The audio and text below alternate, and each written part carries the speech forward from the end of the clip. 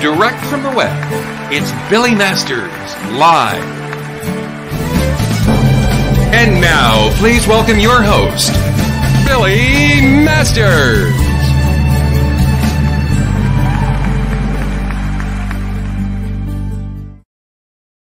Hello, everybody. We don't have everything working. Oh my God, look at that. I've frozen again. Oh, for fuck's sake. It's okay. That I can fix, I think. Okay, first, I've just taken myself out of one browser. I've got four browsers going at the same time. Uh, hello. Oh my God, this is just nightmarish. We haven't had a show like this. David, are you hearing me at all? I am only seeing your lips moving, but I'm not seeing anything. But we are so close. We are so close to figuring this out. Uh let Okay, are you hearing me now? Okay, good. Guys, you're in the alternate camera, but uh, welcome to Billy Masters Live. I am Billy Masters, and we are going to figure this out. So let me explain what happened. David and I were talking, and everything was fine. Then you weren't able to see or hear us. And we were thinking, oh, there's a problem with Facebook, there's a problem with YouTube. Well, when I said I think I figured it out, that's because a message came on the software screen that said, There is a problem with StreamYard. Please reboot uh, your browser. And so I did reboot the browser, and then everything was fine. So, but then everything just froze, which doesn't thrill me. Let me just explain that to you. So now I've rebooted the main computer. Okay, hold on a second. Hello. Okay, I've rebooted the main computer. Now, here's the problem with this the Bluetooth has to be reconnected. and of course, we've got this crazy brightness on my screen, but that's okay, guys. You will get to see and hear us momentarily. I swear to you. Now, first, I have to turn off the Bluetooth and then I've got to reboot the boot Bluetooth. Can I just tell you the irony of all of this is that David and I were just talking about how we are not built for all of this crappy technology piece of shit bastard stuff. Um, I don't know if I've got Bluetooth working or not, but um, we are going to continue nonetheless. Um, anyway, and obviously we should fix this um my zooming and things should be better and my lighting. You know, you would not believe this, but a minute ago when David and I were talking backstage, I had the best lighting that I've ever had on this show. Anyway, we are starting with the personal anecdote, even whether we can get things working or not. And the personal anecdote look, the lighting's already getting better. And the Zoom will be fixed in a minute. There you go. Look at, and then I just got to tilt it a little bit. And boom, we got a show. Okay. So I'm not sure uh, you're fine. Well, thank you, Larry Blum. Your standards are far lower than mine, but I appreciate it nonetheless. I'm going to give myself just a little bit more color because, you know, it was Indigenous People Day yesterday. Oh, you know why? They go, oh my God, now I got too much color. I'm like Weezy on the Jeffersons. Okay. Look at that. It's like a real show. If only I could hear myself. But that's okay. Hearing is uh, very overrated, and I can plug myself into the other computer and listen there. So fuck all of you. So, anyway, personal anecdote. Look at this. I'm putting a wire in because I don't care. Kenny will complain, but that's all right. Um, personal anecdote. Um, I just looked through some pictures and I was thinking of something that made me laugh. Oh, by the way, uh, because I didn't say at the beginning of the show, today is Tuesday, October 13th, 2020. And uh, thank you for being for us with us on Billy Masters Live. Um, even if we're not really live, I mean, we're kind of live. Anyway, personal anecdote. I just found this picture which made me laugh. And I admit, Doris Roberts, I don't remember what this was. I think it might have been an Emmy Awards, but I don't show. Anyway, I'd met Doris many times, but I never took a picture with her. And then when people start getting to a certain age, you start thinking to yourself, I should get a picture before they die. So I was walking out of the Emmys and I saw Doris and I said, Can we take a picture? And my friend Freddie clicked this quick picture. And it wasn't until I got the picture developed that I saw the guy in the background. Now, I believe the guy on her right is having a stroke. And I don't care because he's in the way of my picture. And yet, Freddie seemed compelled to get the guy with the stroke in his picture. Doris is dead. I'm guessing the guy in the picture is also dead. Anyway, that's just all. It just made me laugh a little bit for no reason. Um, now this uh delay is to really annoy me so i know uh how i can fix this but the best way to fix it is to do this one thing so hold on one second people um oh but let, while i'm doing this and if i take this out of my ear i can actually tell you the story without being um annoyed by double sound Okay, good. Device disconnected. Go to hell. Who cares? Um, so I am very excited. Aside from today's show, which of course excites me, is that on Thursday, and if this happens on Thursday, then the show is completely over because we will never be able to do this show with um the problems that we've had today. But on um Thursday show, you know, you don't get a lot of legends on your show. At least I don't. And on Thursday, I have a legend. I have Ed Asner is going to be on this show. So um, you will not want to miss that show because uh, I've got a ton of questions for Ed. And uh, it is just going to be uh, one of the best shows we've ever done. And I say that as if it will really happen, but I'm hoping it will really happen. So, uh, anyway, make sure you tune in for that show. Now, I'm not sure if I'm going to be able to hear our guest, so I've got the other headphones there. But let's see when I bring him in what happens. Let me welcome my guest, David Pevsner. Hey. Oh my God, I hear you in my ear. I don't hear me, but I hear you. Okay, that's okay. fine. How are you, David? Thank you for this. This has been oh my God, we've been through hell, haven't we? We have, and my lighting isn't as good as it was, and I don't dare touch it. I think it looks um, good. Oh, look, there and, you go. There you go. And, and, you look like like you have life, and I look like I'm faded and and. Uh, but I'm alive. I'm healthy. Here we are. You know, thank God. Can I just tell you how good it makes me feel to see you? Because um, I would see you more often if we were in LA. I would at least bump into you someplace. I know. The only time I see you is on your show. I know. And the only time I see you, can I tell you, I'm just playing with my tilting, so don't mind me. Um, okay. okay, there we go. Now we're kind of the same height. Your head is bigger. Not the first time you've heard that. Oh, um, well, uh, but we'll get to that in a minute. Oh, now my head is like monstrously big.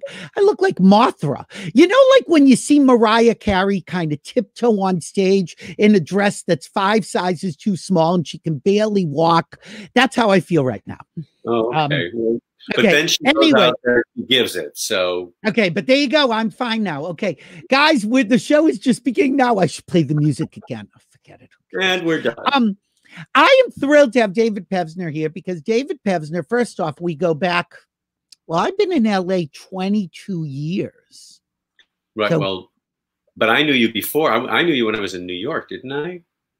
You know, I'm I? not sure, but we didn't get close until LA. I think yeah, we met in New York.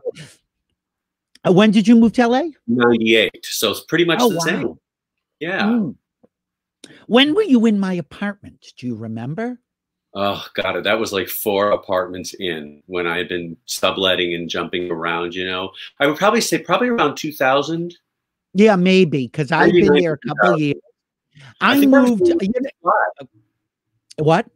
I think i was doing when pigs fly which was um uh end of 99 for like i don't know six months or eight months or something Yeah, maybe. I'm trying. Anyway, it's all seems a blur. I feel like I've known you forever, and I um went through your show last night, and first off, I um have to say, uh, I'm just typing something in so I can pull up the uh, screenshot of the show, which of course has miraculously disappeared because you know that's what happens. Okay, here we go. We're saving it.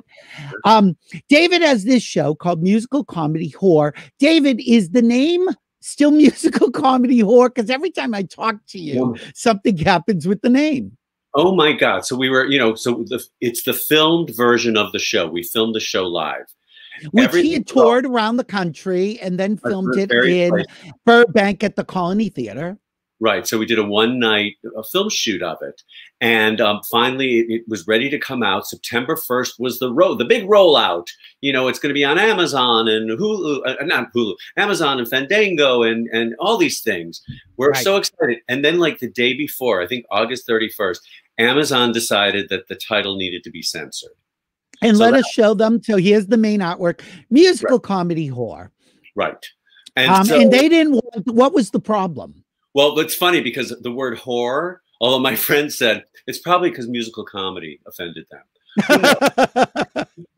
but actually I, because of the word horror but what's crazy about about amazon and none of the other ones had a problem with it but what's crazy about it is there's a film on amazon available with theresa russell called Whore. Okay. Yes, I remember that film. yes well here's what here's what happened here's what it find and so it's finally it wasn't until this past week where it all got worked out and what is it october now Uh, Yeah, and it was supposed to be what, middle of September?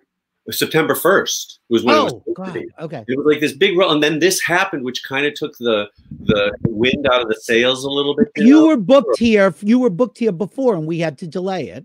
Right, right.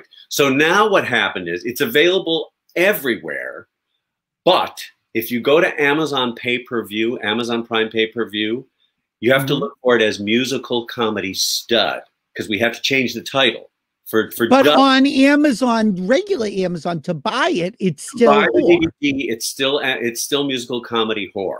But if you're gonna and everywhere else, it's musical comedy whore. Google Play. David, uh, you know, can we just petition somebody, please? the problem is that it's all done like uh, by, by, by bots. There's no human So, can you even talk to anybody?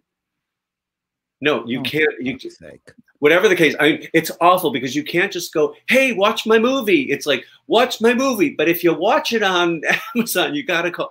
It's insane. But hopefully, people will find it. Just put my name and musical comedy. If you have to Google, actually, if you go to musicalcomedywhore.com and click on how to watch, that is a link to everywhere you can Oh, get see, you didn't tell me that link. Okay, I'll Oh, put that up too. Musical comedy. What is it? whore.com Oh, comedy whore.com. Yep. and click on how to watch. All Okay. the links. All you got to do is click on it. Okay, Monica, Monica, put the link up right now. Okay, there it is. Okay. Thank you. musical comedy Musicalcomedywhore.com. Okay. And Thank then you. click on how to watch, and it'll literally link you anywhere you want to go. You know, Oh. you can watch on your cable box. It's available on you know Spectrum. Oh, cable. really? For for um for uh, Is it like the streaming? Yeah. Yeah, lots of Wow. streaming. options. Hope you'll watch. Well, can I just tell you, I um I've seen it live. Oh my god, three, maybe three times. I think I'm not that. sure. And then uh no, please. And uh and then I saw well, a couple times I remember surprising you because I didn't tell because I'm never quite sure where I'm gonna be because anything can happen apparently. Yeah, And, um, And um, one of the times you're like, well, you didn't tell me you were coming. I'm like, yeah, well, I didn't know. Um, but then I watched it again. I watched part of it last night and I watched the second half of it today. And um, you know, every time I see it, and maybe because we're very close in age, you're just like a smidge older than me. And um, we went through the same experiences. We were in New York around the same time. We were in LA the same time. We discovered sex. I I was gonna just say I was never a hooker, but I'll just say but. You'll hear about that in my book or my show. But um, you you were for, certainly more of a hooker, and certainly more successful hooker than I was. If I were a hooker, yeah, dia dia dum. If I um, Got to go for. I found this video that made me laugh, so I want to just take you back, David. David, this is a little blast from your past, just so people know the journey. Look at this, kids. Hi, I'm David Pevsner, and I'm here in Rancho Mirage to perform the world premiere of my new one-man musical, Musical Comedy Whore. Now, the title alone should get you in here. The show is all about sex, it's all fun, it's very funny, and I promise you, you'll have a great time. So please come on down to the Desert Rose Playhouse for the world premiere of musical comedy. Who's laying there? Oh my God. How long That ago was- is that, David? It wasn't even that long ago. That's 2013. It's only seven years ago. And look at this now. Oh my God. Ah. Okay, now my video has frozen, but don't, nobody fear. I'm still here. It will come back eventually. Um, I know, I know. We'll hold on, back. hold on. We'll You will, back. you will. Hold on a second. Okay, I'm seeing you, so that's okay. Um, so how many years ago was that? That was 2013. And what's funny about it is I'm talking about the musical and I'm kind of talking around the subject matter a little bit because I went through the period where I was like, I don't really want to reveal. It's a reveal in the show about me becoming a hooker. But then, so at the time I was kind of very quiet about it. Plus, there was something about standing, like telling anybody, hey, I was a hooker. Um, but over the years, I, it, you know, the whole show has kind of taken on a whole different resonance. And though, even though it is about this period in my life where I was a male escort while doing high profile off Broadway theater, so I was literally a musical comedy whore, it's not just, I think people think by the title it's some cute little vanity production where I'm like, hey, look what I did. And it's not. It was uh, such, there's so much that resonated within me and with people like guys our age, especially, but women. I mean, I have found everybody go, look, I didn't have your experiences. I never went through that, but I have something similar in my life, being judged about your choices, you know, taking ownership of your choices. It's all Mhm. this stuff that as I've done the show more and more, I have found that the audience, no matter who they are, gay, straight, or whatever, kind of goes, oh my God, that's so weird that I identify with this guy, but I totally do, you know? And you know, I think you know, uh, so for people who don't know you, and um, and and probably most don't, um, you started out in Skokie. I know, I'm sorry. Um, if if it's any consolation, most of the people watching saying, "Who the hell is Billy Masters?" Um, is that like your like your song uh, "Naked Maid" said? You grew up in Skokie, Illinois, correct? Yep. Well, Perky Little Porn Star is the song that, Oh, that is that where it is? Yeah, Perky that, Little Porn Star. that mentions it. Yeah. But, you know, I and um and you were you were a little um little gay boy little gay jew boy i mean that's the other thing and it's so funny because i don't you know i suppose i look at you and i know you're jewish and i've spent time with you and i know you're jewish but i don't look at you and think oh that's a jew but it was a big part of your childhood how you identified yourself and how you felt others saw you Yeah, It's funny when people ask if I'm a Jew, I say, well, I'm Jewish, you know. Um,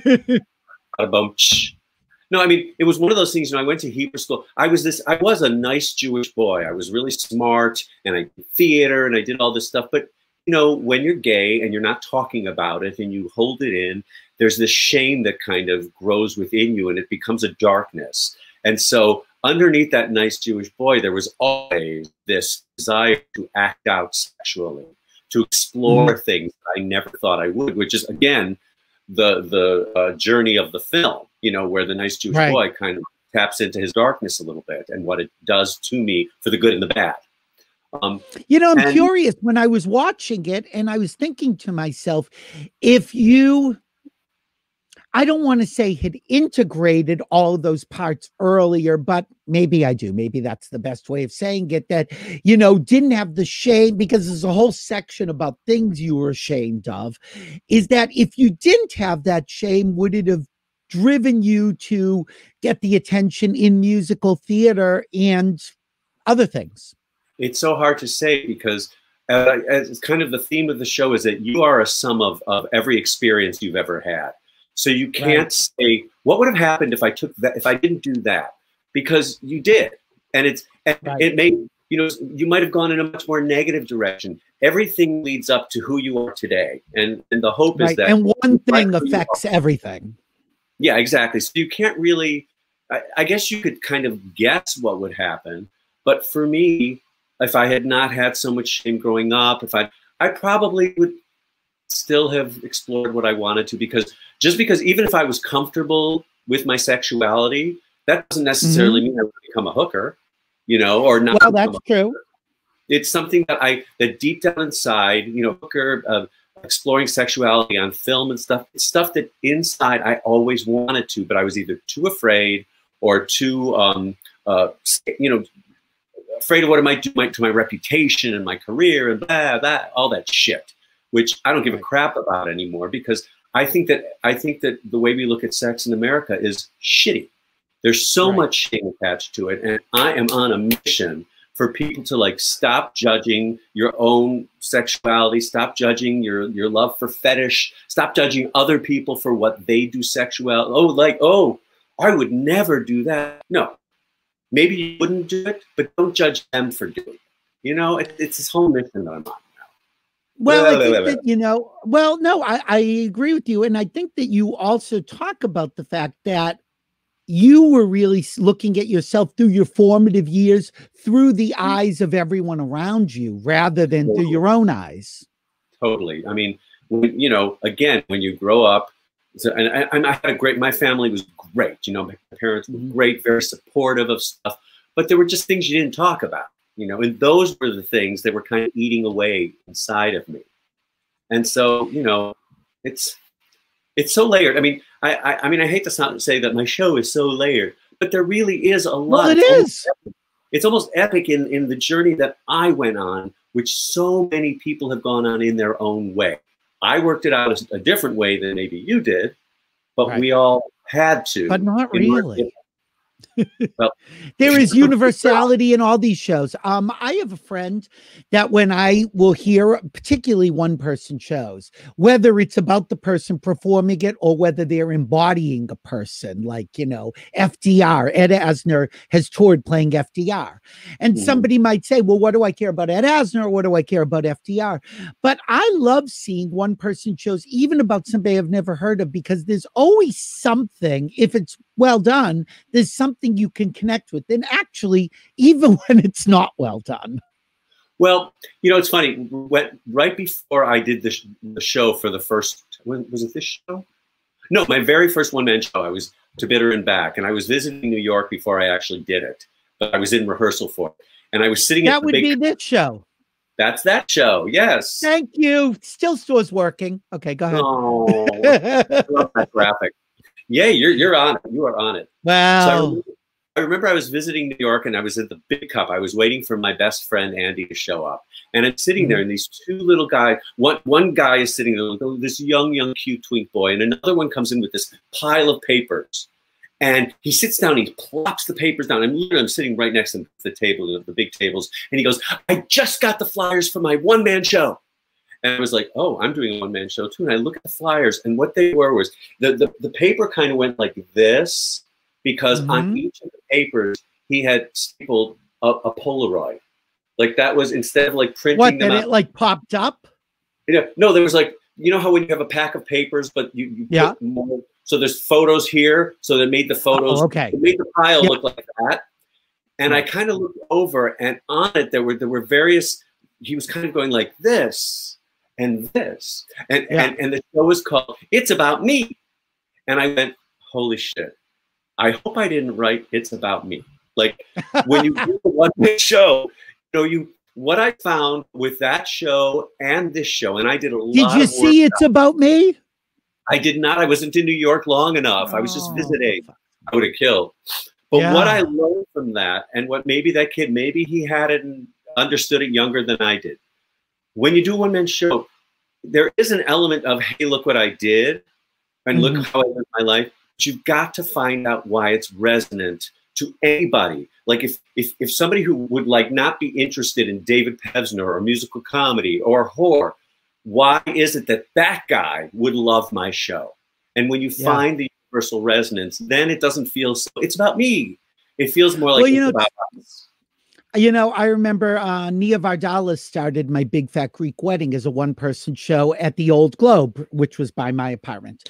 And Oh. um, one of the things that I remember she said in an interview, because I would have gone because I'm of Albanian descent, it's like Greek. So, you know, but I thought to myself, I'm going for this reason, but how many Greeks or Albanians are there?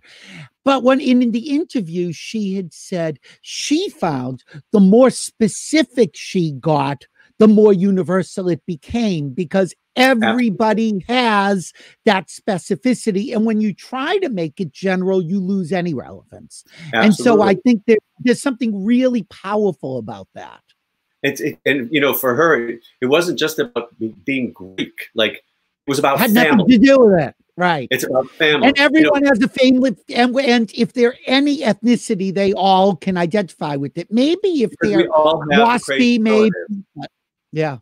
you know, when I was doing Fiddler, I did Fiddler on the Roof on Broadway and on tour, and we we went to Japan with it, and we were like, Mhm. why are we going to Japan with Fiddler on the Roof? Why would they have in this Jew show? You know why? And it turns out because it's about family and Mhm. tradition. Right. And Ja- Japan, you know, the Japanese are all about family tradition. It's the most popular music that musical that had ever played Japan. So when Oh, you kick wow. I didn't know that. yeah, and if you're at, at the time it was, and if you're if you're just thinking like, well, they're not going to want to see a show where a bunch of you know we're all wearing like prayer shawls and going like this. Why would the Japanese people want to see that? It's because that's not what it's about. It's not about that. It's about Right. family tradition. And so And a journey. It's a journey and the journey, and it's a journey that like you could watch it and identify with it for anybody who's had a family or anybody who lives their life by any kind of tradition. It's sometimes it, that's the generality, you know. But for Right. my show, it's like my sister said, you know, she didn't want to see a show about my sex life. And yes, Sorry. there's stuff about my sex life in it, but it's very universal stuff. We all developed sexually growing up and we all had our fears and stuff. So that part of the show I think is very funny and relatable. And then Right. as well, it's goes on, actually presented non-threateningly, I will say. and, and not judgmentally, you know, so that you can watch and go, oh, wow, I did that too. Strange that, I, again, that I'm strangely identifying with this guy who took this journey. Um, I really Right. that because I, I think people sometimes think when they see the poster or they don't know me very well, they think this is some cute little vanity show, you know, like, why well, would I want as many as many one man shows are. I mean, the reason that that worked on Will and Grace with just Jack was that that's all. It's all about me. You know, I mean, we know those shows. Right. That's a funny. That is a very yeah funny trope. But that's not. You know, it's. I, I I feel like there's a road for me to get people to to watch this show because they think you know sometimes and one man shows you may love them, but some people are like. Uh, Oh no, people! I my best friend hates them, and he's Yeah. like, unless I know the person and like the person, why do I want to go? Right. So I got to get past that, and I got to get past people thinking this is. And there is going to be that bias from that segment of the audience, and it is what it is. Absolutely. But now I'm working, now that we have them all out there, now that you can get your DVDs and you can get your streaming, now comes the work of making people go, like, you know, and, and we need conduity type people. We need, like, you know, I need my Rita Wilson who- Right. saw Who uh, my saw it? Greek wedding and then turned it into a film. And why did she go? Because she's Greek. I mean, you know, Greek. I, I'm sorry to say, but that is why she went. And Absolutely. had had Tom Hanks not been married to a Greek woman, Nia Vardalos would be on this show. you could still have it. Probably love to be there. I could. I like uh, Nia. Nia and I are fine, but you know, she could be David Pevsner. Sorry, Nia. Um, so I'm going to go back to the beginning of your life. Now, God help me. I'm going to try to run a clip. So if I lose you, just hang with me. But um, uh, hopefully, anybody who's gay has gone through this experience when they were young, and God help us. At six years old, I was using my pillow for passionate romantic trysts with TV actors as I watched 25 hours of TV a day. So even before I knew what sex was, most of my early fantasies revolved around fucking famous people. My first boyfriend was Brian Kelly, the father on the TV show Flipper. Oh. Masculine, hairy chest, strong yet sensitive single dad. Ugh. Everybody else liked the kids on that show. I like the daddy. to this day, I refer to any sexy black Irishy looking guy as Flipper's father. He was my pillow boyfriend and the love of my life until I cheated on him with James Darren from the Time Tunnel. I love that you played that. Because So wait, I want for people who don't know, let me just show. There's Flipper's dad. Now come Uh-huh. on. Come on. Okay. Because what what were you gonna say? Well, no, because I was so glad that there was such a nice um, response when they were both shown because James Darren was at that taping. We Oh wait, my- now hold on, wait. There's no, and here's James Darren in the James day. Darren from the Time Tunnel. He was like Yep. he was my my one of my two big crushes, and my producer. We needed to get some clearance on some film on some photos, and my Mhm. producer found out that James Darren's son is a guy named Jim Moret, who's a, a Mhm. correspondent. Entertainment reporter. she called him. He talked to his dad. And two nights before we taped the show, my producer, my director, and I went to James Darren's house, spent two oh hours my with him, god. gave us photos. He gave us the rights to use. He was so wonderful. And then he came to the to the filming. And what did he say And afterwards? over time and he's he's just the loveliest loveliest but not like smarmy old hollywood really like you know on it and had great stories to tell in fact we're we're, we're due to have some kind of socially distanced coffee at any time um, I, he was great and and i and i loved that people clapped when they saw his Oh, they did. sitting out there you know and i don't know that they knew he was sitting out there Wow. I didn't know, and I was there. There you go. I'm telling you, you it was at first we thought it would be weird that like, hi, I had a crush on you, and I still kind of do. He was so he after the show, he came backstage. He had tears in his eyes. He loved the show so much, and he gave me a hug. There was nothing turn offy about it. This, you know, straight actor guy from from. It, he loved the show. He loved the message, and I was just so thrilled that he, you know, that he took part. It was amazing. Wow. Was Jim Moret there? Jim Moret was not there. I don't Okay. wait. Him I would have recognized. I'm I surprised. was, but I was so focused on James. I was like, yay. Wow, I had no idea he was there.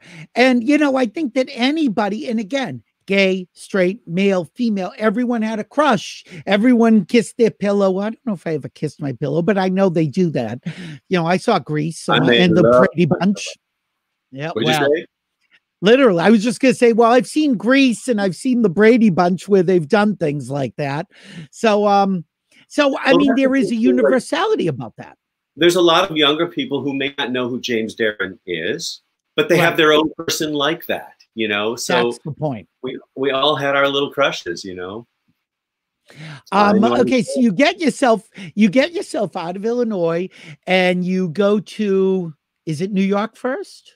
Oh, well, I, a school in Pittsburgh Carnegie Mellon, and then I went right to New yeah, York. get out of there. All right, Yeah. get out of school. They're not paying this show. Um, okay, so you're in New York. How long was it before you really got your big break and you were able to support yourself as an actor? You know, I, I kind of on and off for the first five years, from 82 to 87, I did, I go away and do regional theater, and then I come back Mhm. and work in a restaurant. Like, I always supported myself doing one or the other, or some combination, you know? Um, Mhm. And in 87 is when I got my first national tour, which was um, South Pacific with Robert Goulet that I talked about in the show. Yes. And that's, that was my three, that began my three years on tour, which, you know, you make that money and you save that money and you're okay for a while, you know? Did you like And- being on tour? Because that did. you know take specific types of people to enjoy being on the road. Particularly if you have long stops, it's great. Well, we, we had both. Um, Oh yeah. And I was kind of the accidental tourist a little bit. You know, I, I always joke that I'm like linen. I don't travel well. So I had to kind of learn how to do it. Um, Right. but I was unattached, which I think made a difference because I saw marriages break up on tour, being away from there. were they? But oh, okay. Because I was going to say, did you have people who were dating within the company? We um on that show, we did actually on that show. On the next show, Fiddler, we actually had a couple couples that met on the show.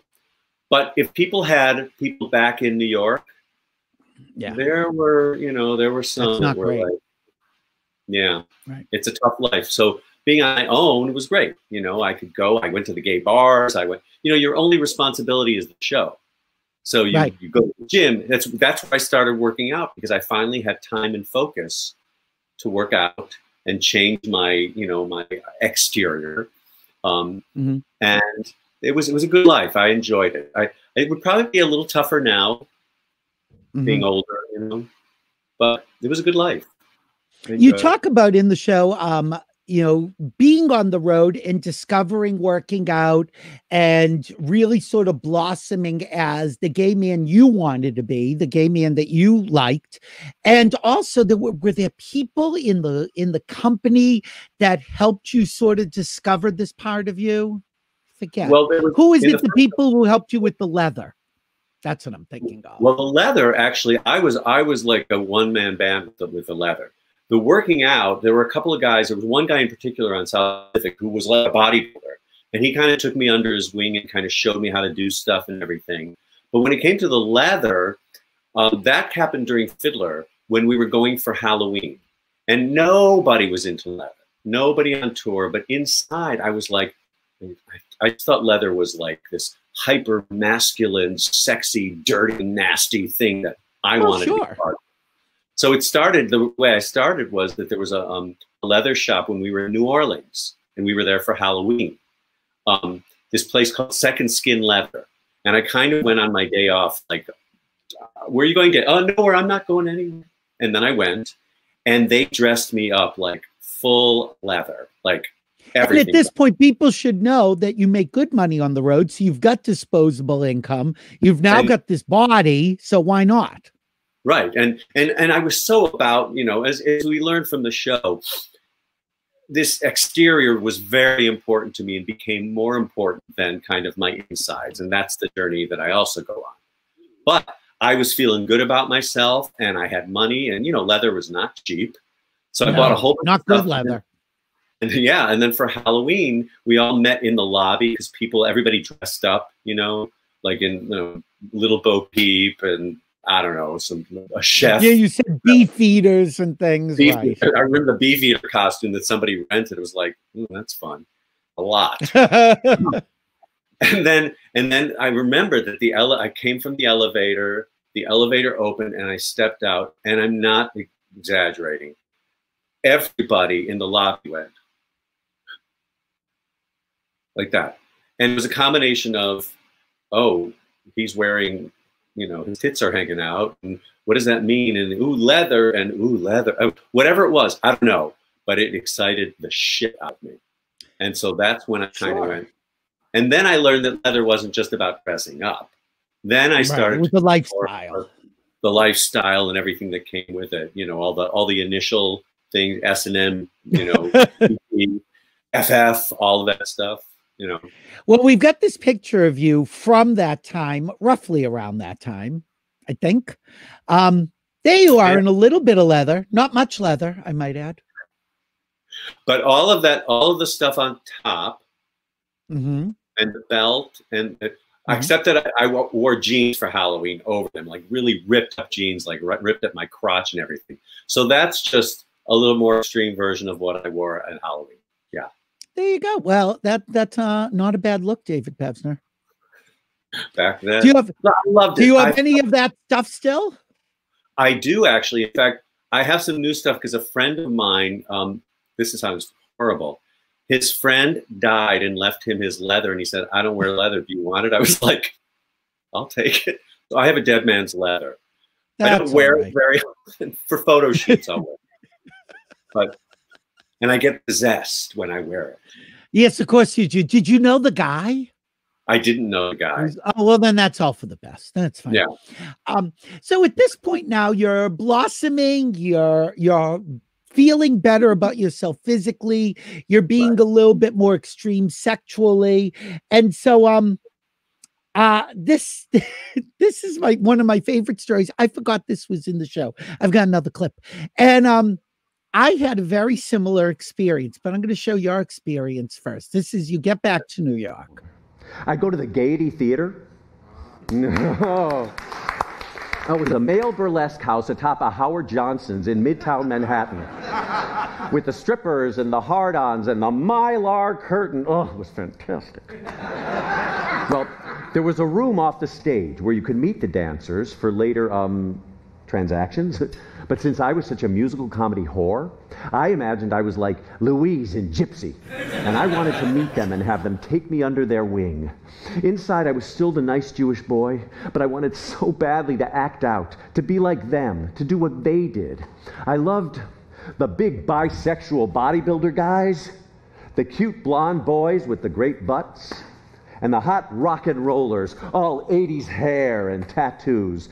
Oh, I fantasize them giving me pointers on working out and stripping down and showing off, and they'd be my hot best friends. Okay, I became best friends with many of them because ah. I lived in Boston. I lived in Boston at the time and I was doing, I was hosting male strip shows around New England. And so I would go to New York to find new people. But again, I was hosting shows, but you secretly want to be them and you want to be their best friends and you want to hang out with them and you want somebody to say, Oh, do you strip? Even though clearly nobody ever said that to me. So well, I think there's all there was a great place to hang out, and the audience was very mixed. There were a lot of people thought that they were going to be all old, disgusting guys. There were young guys, there were business guys, were Wall Street guys. Yep, Madonna was there, filmed her a sex book there. There was Donna who worked the the cashier was Donna. But anyway, go ahead. Tell me what you have well, to no, say about that it. clip was pre-workout, David. So it was me when I used to go to oh. the, when I used to go to the um, to the Gaiety and be like, oh, I wish I could be like them. And then eventually, that's when I started working out. After all that, but the the the thing about the um, the Gaiety Theater was it was such a like you, you, felt like you had to go in with a raincoat if you had. No, it was out in the middle of everything. Yeah, oh, it was it was right by was it forty fifth and and and Broadway. Um, yep. You, but then people were like, "We're going to Gaiety after the show. Want to go?" And I'd be like, um, "Oh, okay." Instead of just like, "Let's go," and oh, here's here's where they come out with the hard-ons, and yay! The pe- like there were some people who had no like they just went and it was a show and it was fun, and then there were other people who were like, "I'm just here to look at the hard-ons. No, I hope nobody finds out I'm here," you know, that kind of thing. And it was just it was quite an experience. Um, I, I think I don't know. I mean, of course, it's not there anymore. No, but uh, there's certainly neither's the Howard Johnsons. Yeah, it's part of the old New York though that was just among you know among the gays. You had to experience it at least once. Did you ever? Did you ever dance there? I never danced there. The only stripping I ever did in New York was for Broadway Bares. Well, of course. and I did, Jerry fact, I did the shows, but the first year I did Broadway Bares, where I did kind of something small in the Broadway Bares, they had a little pre-show at Splash Bar. Remember sure. Splash? So they, they asked five of us to come up with our own strips. So I, I had been in Vancouver with one of the tours, and I saw a guy strip to the song Desperado by mm-hmm. the Eagles. And he was it was like a cowboy strip, as if it's like, you know, the fire's on and it's really late at night. He's getting ready to go to bed. He strips off and then, you know, jerks off or whatever. So I I, I plundered that and I I filched it and I did that strip sure at, at with to the music down to absolutely nothing. You couldn't show your cock, so you had to cover it up.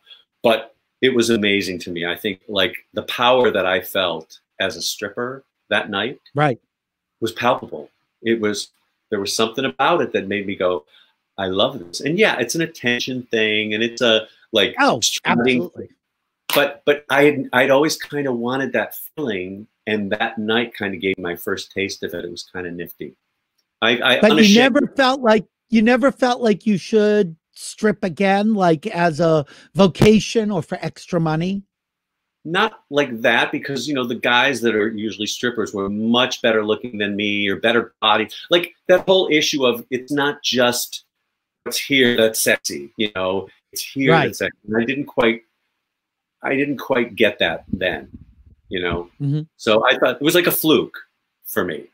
Um, and then doing Broadway Bares, I was still kind of the comic guy who got naked, right? You know, and but could live your fantasy, right? Well, I, I don't know. I, I I thought about that a lot, and but I'm glad I had the experience to do that to actually get up in front of people and strip.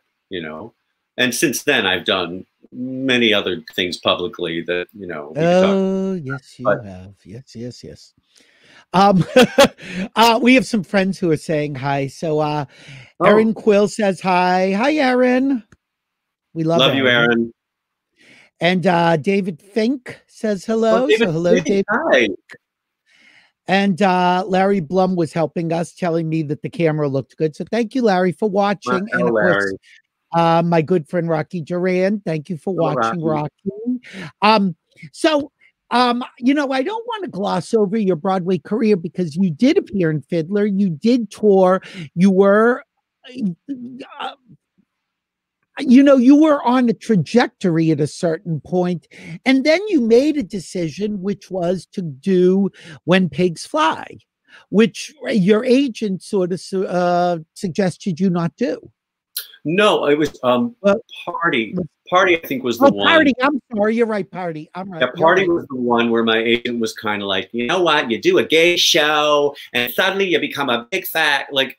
Meanwhile, he was like, and he's telling me that I shouldn't do gay stuff because it's how that people will then perceive me a certain way. And I was like, well, but it's funny. It's a funny show. So I kind of right. had to. And it was him. a huge hit.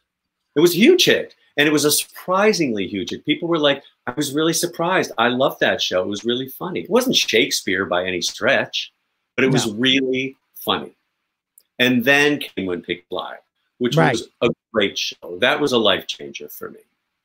Right. We should mention so Dave, our, our, friend David Dillon wrote Party and Howard yeah. Crabtree When Pigs Fly. Just because yeah. I, I always like to give credit where credit is due.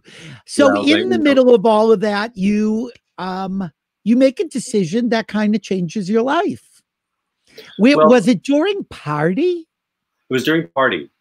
Um, okay. because I've been getting used to like kind of Broadway and tour salary. And then when you work off Broadway, is, yeah it, it cuts it in, in thirds, you know, but you're still busy and you're still. So I had this opportunity. Well, first I, I started as a naked maid. A friend of mine was a naked maid, and he said, "Would you have any desire to do this?" And I was like, "Okay." He's like, "Because I get too much work and I need to give it off to somebody." I said, "Okay, I'll try that." So I did, and I kind of loved it because I love to clean, but I also love nudity. Yes, so, you do. um, and then this this in um, HX magazine, there was an ad for maturity escorts. And at the time I was 37. So I never thought that anybody would want, you know, I, I kind of thought about escorting, but I was like, no, it's illegal and it's bad and it's this. And I saw but wouldn't it be sexy to have someone pay you for it? Well, yes. And, and there's a lot to talk about with that, about getting paid to have sex, because some people will click off and go, no, absolutely not.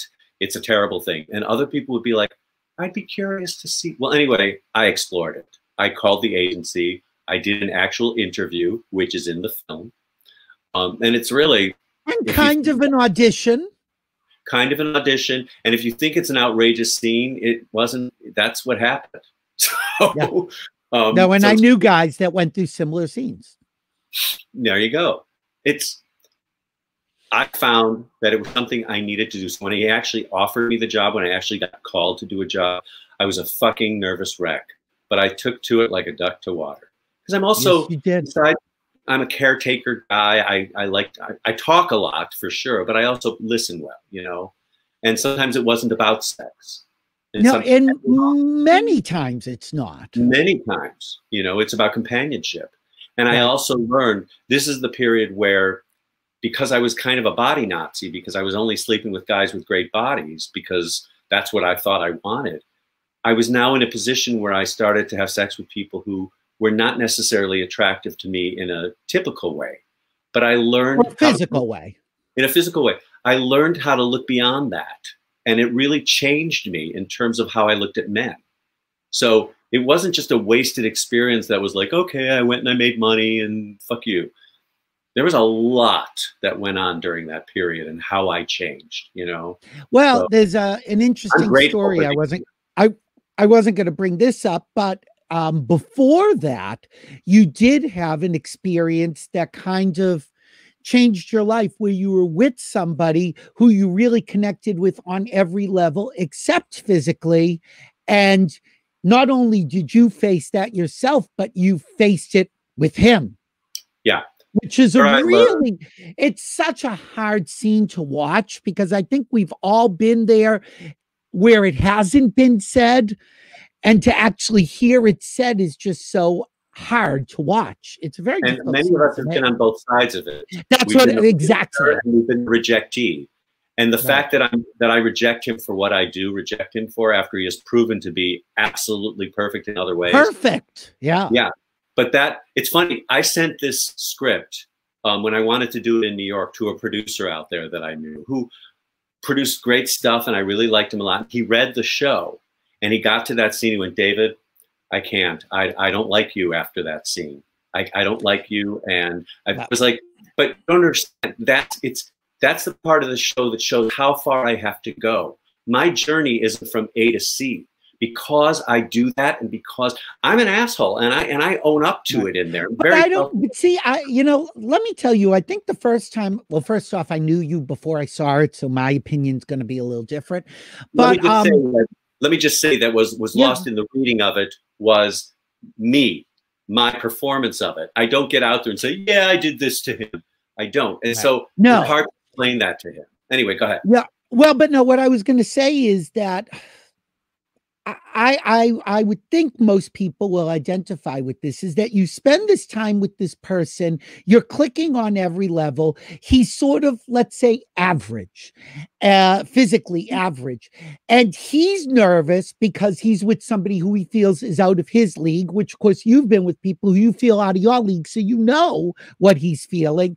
And he actually does something incredibly brave, which very few people do, which he says to you something like, Does my body turn you off? Does and you do what and you do what most polite people would do and say no and he knows because he's put himself out there he knows that there's a 90% chance that's what you're thinking regardless of what you say But as as the date has gone on, we've established this telling the truth thing to each other. right So I do that, I think I feel guilty that I wasn't truthful with him, and then I'm truthful with him. And it And what's interesting about you being truthful with him is you've gotten to the point where you feel so close to him that you should tell him the truth to see where this goes. And Yeah. by telling him the truth, it stops it. So, I mean, again, it's so layered and so interesting. And I think anybody watching this has been in a situation where either they're with somebody who they wonder, Am I good enough for them? Or they've been with somebody who they're like, Oh, Jesus, I'm not really this guy, but let's plow through. Yeah, there's just so much. Uh, there's so much to identify with, and I want people to know that. Yeah, but, but rarely does anyone ask. Rarely does anybody tell the truth. Totally. And so when you establish that situation, when that becomes a cornerstone of the very first moment you meet each other, it goes into truth, truth, truth, truth, truth. When you veer from that, it feels Mhm. weird. And so I couldn't Yeah. let it feel weird. And look what happened. But you'll have to see the film, see what happened. I know, right? I don't want to go into it too much. Did you? Uh, uh, is have you connected with him since? I don't Yes. remember if you talk about it in the show. Do you It's talk about it no, in the this is very recent. This is Oh, very okay, recent. can you tell? Can you tell us anything about that, or do you want to tell me after? I, I don't want to go into it too much. Okay. tell me off screen. It's fine. but okay yeah it, i'm st- i'm still kind of it was it wasn't it, it wasn't good it wasn't about the show not being good i think Yeah. that um we watched it and didn't like how he was portrayed and Well, and and it's too bad because he's actually the guy you walk out going he's perfect right, grab yeah. him Although know. again, you know uh, what I've also learned is that that is not how he's going to remember it or see it, and Absolutely. you know, you know, as bad as you feel about yourself, he feels you were a different kind of bad, perhaps. Um, Well, this is what you get, and you know when you write about the truth and you write about you know real things that happen. What I've learned is you have to understand that not everybody's going to love that, and that Right. you have to you have to have, you have to tell the story the best way you possibly can and the most honest way you can. right. But having done that, there are going to be people who are like, new, new, new, new, new, new. I don't want to talk to you anymore. And so well, that's I um and especially I think it's harder if there are people in your life you cared about who you're not in contact anymore, so you can't even run it by them, and you have to just go with your story. Um, Well, I'm weird. working on that, and I, I'm working on that because I've been writing a personal piece. I don't really want to go into what it is, but um, I, I feel a huge responsibility to people who I have strong feelings for, and yet I'm not in touch with. So it's awkward to call them and say, I'd like to include this, but so you have to really go by, you're telling your story.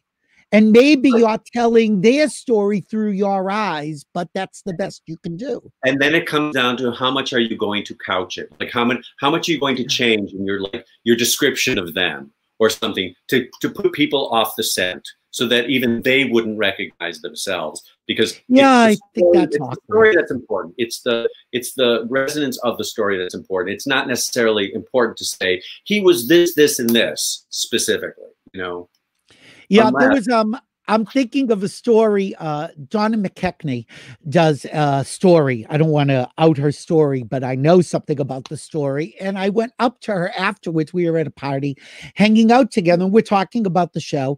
And I asked him, "Wow, what a great story this was!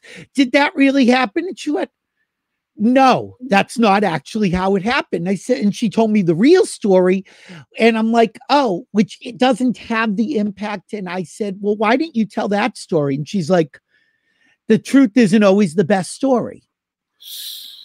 And it's I- so hard to hear that. And Liza told me something similar when I said, Did that happen? And she's like, No, but this is the story. And you know, what do you I, do? I'm on the fence about that because mm-hmm. I've also worked with some people who are writing shows, and we'll go up, we'll go along, and I'm kind of help. I'm kind of turging a little bit, and after a certain section, they'll say to me, "Well, here's what really happened," and it's something mm, that's I a little that- more difficult or or doesn't reflect on them very well, and but it's so much more human. It's so much more relatable, and and then I go, look, that's the story you want to tell. The other thing is the other thing is this. This one is well, right. You know, it's like it's like going to a therapist, and I've been to therapy. I know you've been to therapy, and I've had therapists say, "Okay, stop performing for me. You know, don't don't tell don't tell me the story like Billy Masters in quotes tells it. Let's talk about it." Or, and the other thing I was going to mention is I remember in therapy being told you're trying to protect the other person in how Yeah. you're telling the story because you're like, well, he did this, but, and you explain away, he's like, but doesn't matter. What happened and how do you feel about it? But having said all that, I went through periods like when I first started developing um, this as a film script. One of the things I told the story exactly as it happened, and one of the guys who was helping me out was like, you know, David, this part of it, I know it looks like it's important to you, but it's really not.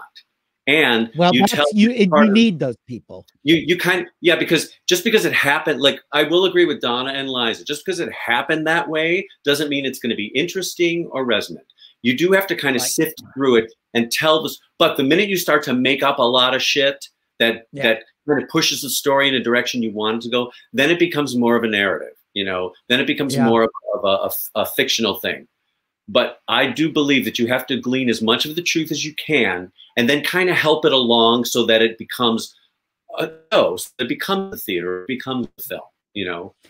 and mean, also power it down. There's a there's a great video. Um, there are two videos. Um, when Elaine Stritch was doing her one woman show at Liberty, you could see the show.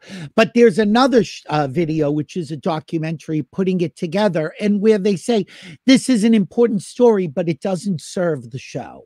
And we Mhm. have to take it out, or we have to somehow shift it to fit the narrative. And it's it's really it's a hard thing to do. And Well, I, I why it's good applaud you for doing it successfully. It's good to have the third eye because I've worked with Yeah. Randy Brenner. Randy Brenner has been my director He's on all the shows I've written. And I love Randy because he really he has a good ear and eye for what works and what doesn't. And he'll also and and he's not like you know, I think like 75%, I have a percentage of like things that I absolutely agree with, I kind of agree with, and then absolutely not. I'm right on this, you know. And we work really well together that way. But what I like about him is that he will say, you know, David, I get why you want that in there. As an outside person watching it, it, uh, it doesn't matter to me one bit. It, it, right. it, doesn't help it along. You you think it's some because it says something about me or it says something about the. It's like we don't need it. We don't need it. Bum, bum, bum, bum, bum. And it's good. And you do need that. Yeah, I think that a lot of the though I think that's the difference between the Universal shows and the um vanity shows that we were talking about earlier. Yeah. When people it does elevate it. If it's a cabaret act, like I've seen great cabaret acts, you know, I oh. really have. But it's the cabaret acts where I feel like I walk out of there knowing the person better than when I walked in, rather than just I sing really well and I tell a story great. I, I like that but I love it when you. Karen Mason used to be that way when I first saw her in Chicago. God, I love years Karen. ago. She used to tell really great stories, and then she'd sing, and you'd be like, "Oh my!" Like at the end of the show, I would just be like laughing and crying, and and just wanting to be like her because she's such a good storyteller, you know. And then there was uh, what thing. Yeah, no, I know. I think there's two kinds of shows, but there was uh there was people who read my column. Um, will know I went to a show, let's say in the past year, year and a half, um, of somebody I like very much who was doing a one person show. And um, it was in a truncated uh, a format that I assumed it was a truncated form. And I came out of it saying, it was all pleasant, but I didn't really learn anything about him. And he asked me, uh, no, no, excuse me, strike that. It was his manager who asked me what I thought, because I don't think I would have said this to his face. And I said, well, it's a great show, and this person comes off really well and sounds really good, but it's just too bad that it doesn't have any meat to it. And we've probably lost all the personality from it because it had to be cut down in this format. And the manager kind of looked a little ashen. And I said, what's wrong? He's like, this is the show. It wasn't cut at all. And I'm like, oh, well, you may want to work on that. Yeah. Because what do you do? Um, and but it's also they may not have that in them to bring. Well, look, there are some people. Look, again, especially telling this story. When I wrote it as a film, I was like, I'm glad I wrote it as a film because it's up on the screen. I can pretend it's a story. I don't have to tell people I was a hooker, and so I can divorce myself from it. But when I finally decided to have the guts to tell the story on the stage, I knew yeah. that again, it, it, did, didn't want it to just be, hey, look what I did. I had to find some way to make sure that when I tell this story, that the audience puts themselves in my shoes so they experience it with me, not just looking at me, you know? And it, it's a, it took a long time to get there in the readings and oh, little sure. audiences and stuff. But, you know, I, I, I really think with this one that I've really, you know, I've kind of tapped into that. Anybody watching it with an open mind will enjoy it because it's the way I like to tell a story. I don't want to. If there's a fisting joke that needs to be told within the context of it, I'm telling the mm-hmm. fucking fisting joke, and it'll be funny because of context and because of character and all that. I hope. And obviously, people know fisting is a laugh riot. You don't want to laugh too hard at the time. um, Tom Frank asks a question Do you think you chose to write this show so that you can be emotionally naked to people to compensate with not being physically naked now? Tom, first, let me just tell you, he is pretty physically naked in the show, aren't not you? Really. I just take my shirt off when I do the stripper. After that, that oh, you change pants. You take your pants off. No, not in the show. What show were you watching? Didn't you take your pants off and put on a, sh- a short? Maybe at the celebration, did you ever change oh, your pants? I did. I did nudity more than once. Okay, because um, I'm maybe because I've seen it so many times. I'm sorry, but uh, no, all right, please. sorry, Tom. There is no nakedness there. So, so getting back to his question, did you want to be emotionally naked to compensate for not being physically naked? Although you were emotionally naked in the original version. Well, look, we talked about when when we were developing the show. Um, we talked about me go, doing nudity in this show, and okay. then Randy and I kind of thought, you know what? It doesn't. First off, it doesn't need it. I mean, it might be more sensationalistic, but for all the people that would come see it, it would also turn some people off. And and look, I'm all about nudity and I'm all about sex, public, and all that. I'm all about that. But here's an, an yeah. instance where for this particular show, I don't think that nudity helped the story at all. I think it would have veered it off to a weird direction. So for this, so when people ask, is there nudity? I'm always like, well, there's emotional nudity, but there's no real nudity. Yeah, so all right, you get to see him with the shirt off. The good thing is people can't see you naked online because you do have a website. I do. I do. Uh, and uh, he has an onlyfans.com slash real guy LA. Tell people why you started this site. Um, well, for years, and people didn't really know this about me, but back since 1989, I posed nude for Tom Bianchi. And I talk about that in the show. Oh, and, and so yes, uh, and here's the first photo shoot. I blurred it just in case the YouTube Nazis bother us. Is that the first photo shoot? Yeah, that's the very first Tom Bianchi shot that I did where I was afraid. And that's on Fire Island. That was on his house at Fire Island. Yeah, on his rooftop. Okay. Yeah. Okay, so you go with your continuous story. So I and so from that, and I kind of loved this feeling because that's when I had started working out my body, and I loved this this freedom that I was feeling so I worked with a couple of photographers in New York, but when I came to Los Angeles, I got into this whole community of photographers and, and artists who were doing sexuality and nudity. And I posed for a lot of stuff, but mostly the photos were between the photographer and me. And every so often there'd be like an art book where one would show up or, or an exhibit or something. But I felt like I was kind of holding them back. Like there was a shame in me about these naked pictures. So when Tumblr in 2013, I think it was, I heard about Tumblr, the mm-hmm. blog you could post. I started my own Tumblr blog called Shameless, and I started to post all the photos that I've been shooting over the years, and oh, I got wow. a lot of followers on it, and and I was kind of loving it because I felt like, oh, there's a place for this, and and I would try to do really creative photo shoots where you know we would put a, a, put it in a context and, and I would name it something funny to be ironic with what's going on. And I tried to really take it from an artist's standpoint although to mm-hmm. some people there he is with his hot hard cock out he's a porn person. You know it was right. it started to like when is it porn? When is it art? It, it started to address all of this. And that was fine until and I kept doing shoots until 2018 when um, Tumblr decided that they were going to purge adult material because they oh. wanted a more positive Tumblr, which meant that nudity and sexuality is negative to them, and I will not have that. So I started to find other venues to try and do another gallery. I had five years of building this gallery, curating it. So I started a new Tumblr page, which I still have, which you could go on for free. You just have to join. You can go on, you can see photos there. But then I had also started to shoot some erotic videos with this filmmaker friend of mine. And they were kind of nifty and arty and fun. And I thought, I'm never going to post them, but we'll see what happens. I had started this OnlyFans page for with the photos because everybody was doing it at the time and it was free. Mm-hmm. Then the pandemic hit. And I thought, you know what? Yeah. Now's the time. I'm so fucking sick of holding back on these. And so I started to post the videos. And I had like thousands of people for the photos when it was free. Then when uh-huh. I started to charge because the videos had started to go down, but still, still pretty good. And so to this day, I continue to try to do fun and sometimes artistic, sometimes raunchy, sometimes triple X. I do all kinds of stuff.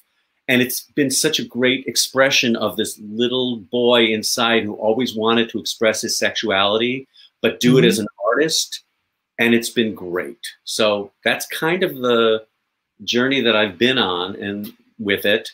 And look, and I hear all the stars are getting OnlyFans page now. OnlyFans oh, page. yeah. Great. Tyler Posey just started one and someone else started one last week. Yeah, I know. Um, do, does, does it make you think to yourself that, again, the what ifs, that what if you had done this stuff earlier and had it. Well again some of it you did do early and you have to use now. But was there yeah but is there something that oh i wish i had filmed myself earlier. You know i've i've on the forums sometimes people say you're too damn old to be doing that. You should have done it when you were younger and hotter. And i'm like okay that's part of why i do this. This, this mission this anti-body shame anti-ageism right. pro-sexuality thing. It's like i wasn't ready to do it back then okay? Right. And now I'm choosing to do it because what I found with Tumblr was you know, there are guys out there who like older guys, who like Right. to look at older guys. And so it's not for everybody, but there's definitely an audience for it. There's an audience, and because that's what I want people to understand is that if you're 70 years old and you know you, you're never done, there will always be somebody interested in you. You know, that's what I learned with this. And so don't feel like you hit 50 and I got to hang it up. I'm done. Nobody's going to want me anymore. I don't work out of this. That's not true. It is so not true. There's something for everybody out there. And I want people to feel better about themselves no matter where they're at. Yeah, I think that that's important. I think it changes, and I think you have to be willing to change along with it. I think that's when it becomes sad of the people who don't change with it, the people who try to look like they did when they were 30 and they're in their 50s or 60s. I remember one notable um porn gay porn executive. Okay, I don't want to say who what it doesn't really matter. He had given advice to Jeff Stryker when Jeff Stryker had really started becoming reclusive, like in his late 30s. And he said to Jeff Stryker, What you should do right now is do a million different photo shoots and a million different videos and put them away and then dole them out like every five years. Oh, he's still working and look how good he looks. And I think Jeff kind of took part of that advice and is still doing it now, but in a almost creepy way. Even though I love It's you, Jeff, like if you're watching. You kind of do have to know who you are in the moment. And yeah, there's there is such a thing as trying to recapture the past, which is very hard to do, and I don't recommend. Obviously, yeah. It reminds me of um, when in 1987, I think it was, when Lucille Ball did her last sitcom, Life with Lucy. Life with Lucy. Yep. Life with Lucy. And at that point, the Golden Girls had already been on. And I thought, oh, they're going to take this show, they're going to put Lucille Ball into more of a, a, a more a different context now that she's, you know, really an older woman. She's not going to do all that crazy stuff. They'll put her in something more substantial, more emotional, more that they'll give her a chance to really do it. And sure enough, in the I watched, I remember watching the first episode, and she got Gale Gordon's tie stuck in a pasta maker, and I was like, I'm done. Yep. I don't want to see Yep. this and now. that's I- what it was. and she was trying, you know, was trying to like re, redo what she'd done in the 50s and 60s. And they could have progressed her and said, let's still it's still funny, but let's find a different way to to to do it so that it's not embarrassing. Well, and I'm I think sure that there are there are two things at play though. I mean it's your image of yourself and what the audience wants to see. And she had before that had done stone pillow tried to be dramatic and a bag woman and look terrible. And she heard from fans they wanted to see the old lucy. And Yeah, you know but they- what do you do? at that point it doesn't work, you know, because it we've gone so far in sitcoms since then, so it didn't work. So I think you know, as I go about doing, you know, filming stuff and doing photo shoots and stuff, yeah, I mean, I try to keep in mind that I'm a man of 60 plus, but I, it's it's you like I are? I keep forget I, I i i always say that you're just a couple years older than me how old are you I'm 61. oh i I'm 61. I- Oh my God. Okay. Well, you're a lot older than me, but still not that much older than me. Look, you may be, be older, but you look better. So, as far as I'm well, no, you look great. And by the way, Yeah. the lighting's Yeah. really good there too. Oh, so well, thank you. Well, great. all right. I'll keep. See, there's the lighting that make you. Can I just say? I'll tell I was you. unhappy about the lighting before. I yes, I was very unhappy. Um, that uh, oh wait, did you freeze? Oh no, okay, you're back. So a couple weeks ago, I w- was asked to do a reading. You know, as we're all doing these free readings, and so I said fine, and I got the breakdown, and it said Queenie flamboyant 30s, and I said, well, clearly they got me because they need someone in this who looked 30s. So everybody was in these little boxes with this like prison grade lighting, and they all looked terrible. And suddenly I show up, hello, boys. they went, all right, you got your ring light working. I do. Oh no, A I mean, it's, I mean, look, we're but but speaking of of uh looking good, so here you are in the day ish, and here you are more recently. Now, first off, the first thing I think to myself is, well, wait, at one point he was in my apartment. So that wasn't shot in your apartment. I don't think I ever No. shot anything in your apartment. No, I don't think you did. Uh, and if you did, long as I don't know, it's fine. I don't care. Um, because my apartment looked better when I came back than it did when I gave it to you. Well, that's because I'm a personal organizer. Yes, you Right. are. Hey, you. David would David would email me while I was on the road, and he'd say, "Can I please organize your apartment because it's killing me." you get so much meat. You were getting so much media from people, like CDs and TV. Oh was it God, even DVDs back then? I Yeah, it was- it might have been, yeah. It was VHS piles and piles and piles, and Oh. so like I'd go to put down a glass, and I'd be like, "There's nowhere to put." Right. There were no surfaces. There's still a no surfaces. I We'll to need you back in my that. apartment. Yeah, I know. I need you back. Um, so again, I think people should. You know, I use those other photos also to just show that you can look good at it, as you just said. You can look good at any age, and you But you, you know also not- don't stay caught up in trying to look good. No, look, I I know know how my body has changed, but what I always tell people, because people are like, you know, I would never do that. I would never pose nude. I was like, you know what? I think you should pose nude. Don't you don't have to you don't have to keep the photos. You don't have to share the photos. There's something so freeing about being naked in front of a camera. It is a great freeing experience. I would tell anybody to do it. Some people like I'm not saying put your dick on the internet. You have to think about that, you know, in terms of what you feel it might like. I don't give a shit anymore. I still Right. work as a mainstream actor. Some people won't hire me, but some people uh, it make me more interesting, you know. But Oh, and that's good. You just gave me the perfect segue because we do have some clips of David in action, or at least we have uh-huh. one here. We do have one. Okay, we have one. So I remember seeing this show, and I remember saying, I, I remember texting you saying, Oh my God, there you are. You're on my screen live. And this was just so you'll know what's coming up. It was a Sunday night. So it was column night. And so here's a clip of David in action. Your credit card has been declined. I just went shopping with it. Try it again. Ma'am, I ran it three times and then I called the bank. Now, may I try another card? Will you just give me a moment? It's my pleasure.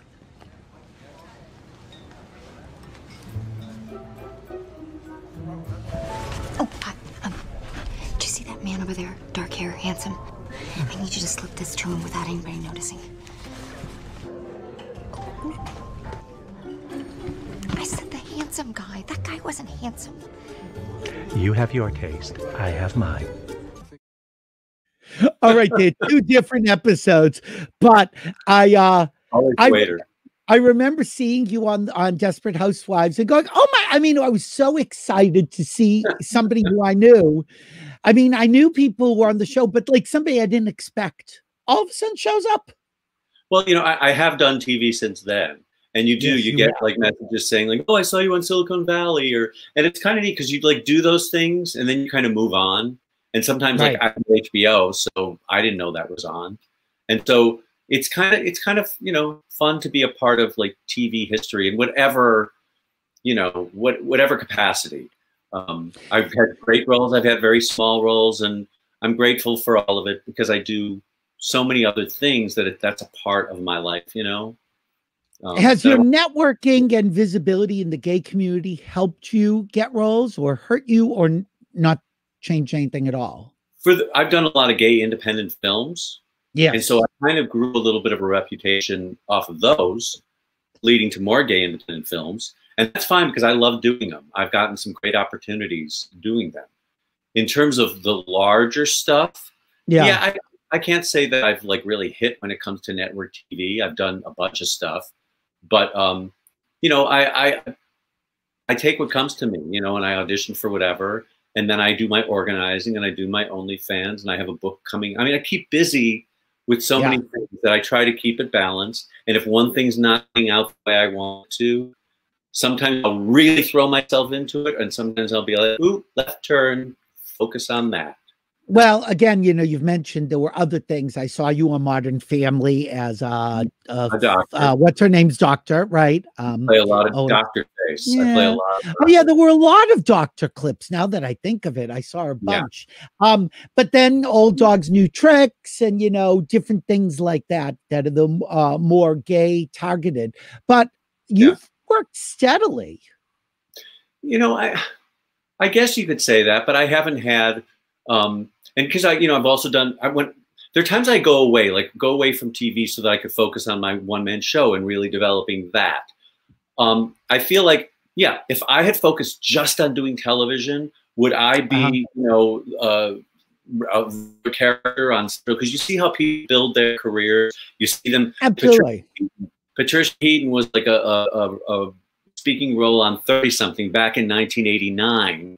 You know, and she was really good. And you saw over the years she built and built and built and built. Now she's a Right. crazy Republican. But besides that, um, Right.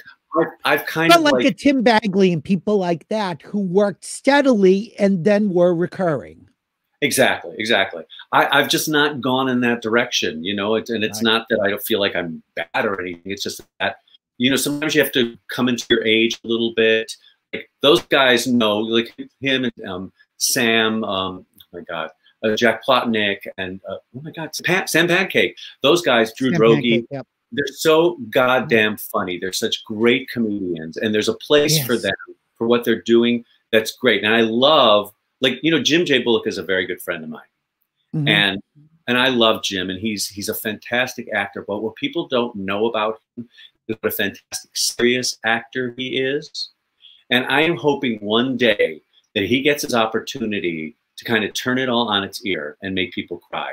He's so You know, it's funny. Uh, I there's a clip I have somewhere, but I had uh, worked with Joan Rivers on her daytime talk show, and she had brought um, the cast of Hollywood Squares when she was on that incarnation that John Davidson hosted, and Jim J. Bullock was like the the regular, you know, acerbic one at that point. And John Davidson on the show said, What people don't realize, Jim J. Bullock can do anything. All they have to do is give him a chance. He is so talented. And Jim didn't trust that moment. And he went in, he played it up, said, Sure, I could play a cop. Freeze. And I said, Oh, you had this moment, but he could he can't help himself from going for the laugh. yeah. And um it's tough though when you're in the can. when you're when you're in the the public eye in a certain way like howard stern once you know said something about him being like the wacky gay neighbor and so that's when howard stern says it it kind of puts like a stamp on you a little bit and Right. i've just i've seen him do things like because i took acting class with him and and um, singing class and then i, I, I saw him in End of the World Party. I saw him and off Broadway. Was great. Yes, And- great. and you know it's it's when I was in college. Um, one of the things they tried to beat out of you was if you were at all effeminate, if you were at all like kind of veering towards being gay, they would try to beat that out of you because they're like, you won't be able to As play. did your management, though. Your management did it too. My management was like, you know, you got to stop being gay stuff because you become a big fag when. And what it comes down to is, I look at somebody like David Drake, for instance. When I saw his one man show, uh, The Night Larry Kramer Kissed Me, I was wrapped because in college, I was told that that actor would never succeed. He would never succeed being just kind of who he was because he was a little, a little effeminate, and you like you can't, he can't play every role. Well, first of all, who can play every role except maybe Meryl Streep? But No. you find you find out who you are, and then you use that for whatever role you can. And sometimes obvious, like they want the cop to be this. No, they want the cop to be more like David Drake. So you've got to have the confidence done. The wherewithal to be who you are. And when I saw David doing that, that's what kind of inspired me to go, you know what? I don't have to cover up anymore. I don't have to like, Right. you know, show up at, on a set like this. I can kind of be who I am, play the role, play the character, and but imbue why it's me playing the role and not that guy, you know? Right. Uh, really taught me a lot and and i think there's a little more room now with shows like pose and you know um, just a ton of stuff where there's the opportunity that you don't have to be in there and kind of be that like generic straight acting guy you know? What is straight acting? There's not there's Well, no And you may not get called for those jobs anyway. I mean, there's nothing more infuriating than see somebody who is a great comedian not want to go for the roles that they would be perfect for because they want to play against type. And they may not get those roles, but they may have missed some great opportunities that would have had nuance. that's why it's really about like i just said go in and look am i you know the star of, of a sitcom or an hour long drama. Now no i am not. No, But what I like, but what I try to do is when I go in, you know, I could play it the, the generic way, or I could go in and give it me, and it's why it's I may not be what they want for it, but you make an impression so that they go, you know what, he's not getting the role, but I'm a fan, and I like what he does, and I like who he is, and that's when the hope comes, you know, and and look, the bigger stuff may not ever happen for me. I hope it does, um, because I not. love it. But you know, like I said, I balance my life with all these other things, so I'm okay. You know, it's Right. I don't feel like a failure. I feel like you know I've done so many different things in my life. I've been unafraid to explore some of the the dicier ones that people would be like, like in my show. Um, I found a picture. You know, I was doing research on you, as if I have to do research on you. But uh, I found a picture, and I'm that's all there. curious. And uh, I'm uh, oh, firstly, I just want to show a picture of you in When Pigs Fly because I just Yeah, thought you were so great in that show. It's such a great show. Jim Jay was in that show as well. Now that I think of it, In LA, yeah, we did Yes, together. did That's LA. Yes, I remember. Um, but I and I uh, that may be around the time of this photo. I just want to know: is there a story behind this picture? There's no story except that Ann Miller came to see the show here in LA at the Coronet Theater. And afterwards, I got a photo with her. And she was, she was, I mean, you know, like uh, you were saying to me before, we were saying here or to me before about how like you wish you had gotten a photo with, sometimes you go like, oh, why didn't you get a photo? Yeah, I I never like I never got photos with people because even now I forget that I have a camera on my phone that take Right. But back then I was like, oh no, I gotta find somebody to take a picture of me with Ann Miller. This is important. This is dire. Yeah. Well, it's out there online. Uh, I uh, uh, I just want to remind. donors, I did a Yes. play by Kenny Solms, her good friend Kenny Solms. Sure. And the opening night, it was it was a very crazy, crazy thing. But the opening night in this little tiny theater had Joan came to see it, um, Michelle Michelle um, Pfeiffer and her husband, and Brenda Vaccaro and Lily Tomlin, and it was like half the audience was celebrities. And did I have my camera? Did anybody take No. pictures? No. No. That would have been fun.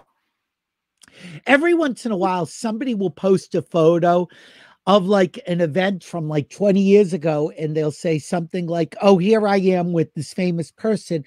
And I will see in the background, Wait, I think that's me because I know that I was at these parties, but I didn't take photos either. But it, You and one of the times, and one of the one of the pictures, Facebook actually tagged me, and I said I wasn't at that. Oh, yeah, that is me. So it happened recently. Um, with a Diana Ross concert, and somebody took a picture with Diana Ross, and I remembered being in the front row with J. Randy Taraborrelli, and sure enough, there we are. And I'm like, Oh my God. God." So, so um, and there are things that you say, oh, I never got a photo of that night, but now there is something. Um, I want to remind people. Yep, go ahead. Just getting older, you realize like because it was it wasn't important to me at the time. You know, like ugh, at the moment, the moment is more important. I don't want. I didn't feel like I needed somebody to take the picture of me to spoil the moment of it. And now I'm kind of like, I wish I had a little memento of that. That would have been nice. Well, Beyond my the mother, my mother was like that. I would go. I, I remember, and and specifically, just telling another story of myself. Um, but Please. we had gone to see um the great opera singer Marilyn Horne give a concert in Boston, and ironically enough, this story about us with Marilyn Horne is how she opens her autobiography, but there is no photo from it. But because there was a blind woman in front of us and wanted an autograph, and she introduced Marilyn Horne to her dog, and the dog's say name say was Muffy, and so Marilyn made out the autograph to Muffy, but then they the blind woman had say, "No, I'm Carol, not Muffy," said she had to rewrite the. Anyway, my mother and I are right there during this story, and then it shows up in Marilyn's book. But anyway, I got an autograph from Marilyn Horne. My mother did not get an autograph, wanted to have the moment with her and look her in the eye and talk to her. And Yeah. afterwards, I said, Why didn't you get an autograph? She said, Because I had a choice of getting an autograph or having a moment. Yeah. And that was a really big lesson to me because you cannot have both. That's true because they'll just, unless at the very end you kind of sneak in, oh, can I get your autograph? Just sneak that in. No, as a matter of fact, on my friend Freddie, I hope Freddie is watching this. You know Freddie. Um, Hey, Freddie. when the Witches of Eastwick was filming in Boston, and he's the biggest Cher fan in the world, he brought me with him to the set, and he wanted to get uh, a photo with Cher, and he also brought things to autograph. So she's autographing things, but all the photos are her looking down, autographing, not looking in the camera, because you cannot have it all. Just how it goes. Yeah, Um, but you can have it all if you watch musical comedy whore. Yeah. Although apparently that is as much nudity as you're going to get. That truly is. The good thing- actually, that- that that Yes. photo, like in the show, you, yes, that, that photo is, is it's there's there's no futzing with it. That's how I look when I took the photo after the show, like months after the Oh, show. really? Yeah, during the show, I'm a little beefier, but I'm kind of okay with that because I'm. That's more representative of what I was like back then. That photo is what I was like back in the day, even though it was taken recently. But in the oh, show, Oh, okay. it's kind of like you know this kind of you know not portly guy telling the story, but Well, it's I kind of don't think that I use that. I don't It's think that, you know. You look great.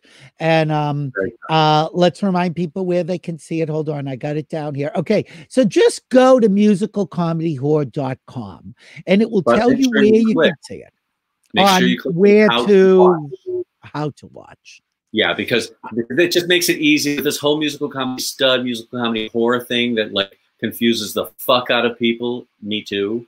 This has the list. You click on it. You know, you can do it on your cable. You can get in touch with Amazon. You can do whatever. But this is everything in one place. And again, people can buy the DVD or they can stream it live. If you don't want to wait, you're sitting home during a pandemic, touching yourself inappropriately and saying, I'd like to look at something and hear a few songs. Great songs, by the way. I think people don't realize you have written some really funny songs. We had you on for the Naked Boy Singing Show. The two most popular songs in Naked Boy Singing are Naked Ma- Maid and Perky Little Porn Star, both written by David Pevsner. Well, that was another aspect of the kind of acting out. I always felt like I loved kind of dirty humor, but dirty humor that was really funny or really clever. And so that's how I Oh, started very writing clever. songs. And so I tried to I tried to continue to do that. And so those are the songs in this show. Um, I don't know. I, I, I just want people to laugh. I hope they get moved by it. Um, I, I'm really proud of it, and I know that it plays. and he does more- take you on a journey you know i really think people have to know that uh the show takes you on a journey if it isn't graphic certainly not graphic enough for my taste but i've seen it Unless graphic and fisting- unless the fisting joke or you know bothers you. Some of the length, Yeah, just well, but but it's not. I, I don't get naked. I mean, there's some descriptive stuff that's pretty, you know. But but by the time you get to it, you're so kind of. I believe you're so kind of with me that you may be like this, but you'll be laughing at the same time. So that's all I care about. and if you want to see more nudity and give him a few bucks onlyfans.com slash real guy la and Yep. um you know There's you get look so between these two clip places you'll get your fill of david pevsner and by the way can i just point out to people that you are no not bitter and back you are most versatile That's my CD. I love that cover. I do too I love that cover. My my I have a graphic artist friend who came up with that, and I just thought it was so goddamn clever. So your homage to bruce springsteen because I talk about in the show about how I was voted in school because I did all the activities and stuff that they voted me most versatile. Little did they know. Well, and uh, and you are. I think you know. I don't. I don't normally ask people, you know, their preferences, but you are very versatile. I am proudly. I, you know, when people used to ask me questions like that or anything about, I'd get all kind of like flushy and blushy and be like, I don't know if I want to say. I don't care anymore. Yeah, I like to get fucked and I like to fuck. What about it? You know, There you go. And you are single. I am, and it's well, you know how it how it is when like you're. I, I'm usually pretty good alone. Like I'm a bit of a loner anyway, but Yeah. because of the pandemic, this is ridiculous already. To not have the Oh yeah, this is a lot of alone. to connect, it's a lot of alone, and it's making me really want to, you know, connect, and not not sexually, you know, not even that. I really would love to, you know, it's time. It's it's time to really, you know, set up shop with somebody and and build something worthwhile. I'd, I'd really you know, love there was there was one night I I don't see it's all blending together. It's been seven months, but there was one night that we saw each other on Facebook and we sa- I sent the link to you and we just chatted because I this is like the only way we really have. look connection you know connection face to face is so is so much better but look what we have we have this we have you know zoom we have you know skype Streaming services. it's yeah it's good but it's just not the same you know even No. i think i've had dinner with a friend twice in his backyard socially distant and uh, you know I, I I can't when i see people at you know parties with friends and stuff like that even though they're wearing masks when and whatever i'm still like i'm still a little uncomfortable with that and that's Right. so it makes the lonely even kind of not the well alone lonely It they are lonely, different things they're two different things and i'm feeling a bit of both of them Yeah, Um, I'm but- sure. But the good thing is that if people are feeling a little lonely, you can have David Pevsner in your house, musical comedy whore. laughing your ass off He's selling it off stage, on stage, and off. Who came up with that? i did Of course you did. So get all the information at musicalcomedywhore.com. Watch uh, where to watch, how to watch. What is it again? how, how to uh, how to watch How to watch it. no i don't remember but whatever I don't know. You'll figure it out. Look, if you can't figure it out, email me. I'll tell you. David, it's always a delight talking to you. Stay on and we'll talk afterwards. Guys, thank you for watching Billy Masters Live. Thank you for uh, um uh, hanging in there with us. This was not the easiest show to get going, but once you, you know, on the replay, technology. You beat it Ah, you know, uh, on the replay, we will cut those first 15 minutes and it will look kind of funny. And you'll be sitting there saying, What happened? And now we'll tell you. It was a little bit of a shit show, but we got through it. If Ed Asner, if this happens with Ed Asner, he's going to be flummoxed. He will can i not just be say one happy. more thing about ed asner when you Yeah, mentioned course. yeah, please, please. Um, you know, uh, one of my favorite television moments of all time is in the pilot of Mary Tyler Moore when he goes, you know, she "You got spunk," and then she goes, "Well, yeah," and he goes, "I hate spunk." It's a very funny thing. But now, being an older gay man, sexualized, when I when I see that clip, my mind goes in a whole different place with spunk. Well, can I tell you, because of that, uh, when I wrote the column, uh, which is out right now, which of course everybody can read on where the fuck is my column? I don't even know where. Oh, BillyMasters.com. You know, I don't promote my own show enough, but um, you should. You need. uh, to. I know, I know, because we need we need subscribers. We've lost a lot of people because people are hurting during the pandemic, and um, but just so you people know, um, most of the papers that I'm in, most gay papers, have shut down. There are only a few papers left. Everything is online. Nobody is paying writers. Nobody pays for this show. So there is no money coming in. So if you can take a subscription to billymasters.com for $5 a month, you keep our keep it all of keep you'll keep the empire afloat.